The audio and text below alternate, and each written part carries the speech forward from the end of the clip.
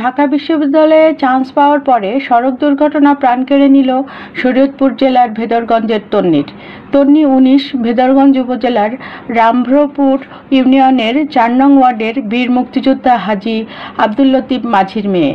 তন্নি এবছর ভেদরগঞ্জ সরকারি M Reza college থেকে এইচএসসি পাশ করেন।